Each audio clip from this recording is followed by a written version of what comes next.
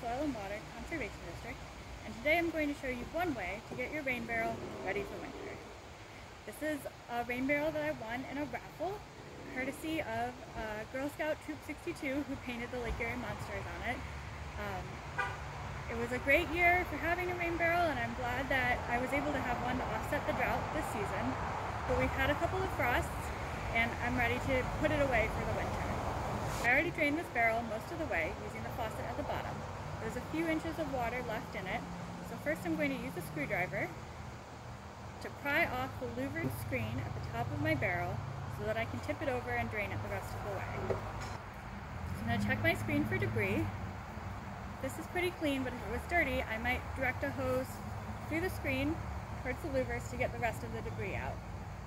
As it is, I'm just going to set it aside for the moment and tip my entire barrel over to get the rest of the water out. Now that the barrel is drained, I can remove the overflow tube and set it aside for one. I store my barrel and the overflow tube in the garage for the winter, but if you didn't have space indoors to store it, you can also return the screen back on top, make sure your overflow tube is off, and just flip the barrel upside down to be stored outside of it. With my rain barrel out of the way, I stacked a couple of bricks in its old place to support the rest of the downspout and also position the old splash pad that I can use to further direct water away from my house. I swapped out the downspout elbow that was on top of my rain barrel for a downspout connector that fits my downspouts. These are about $2 at any hardware or box.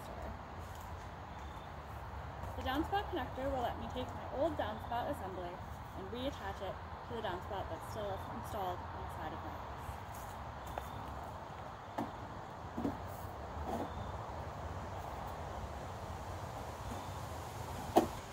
If this were a loose fit, I could use a drill to put a couple of screws in between the downspout connector and the existing downspouts.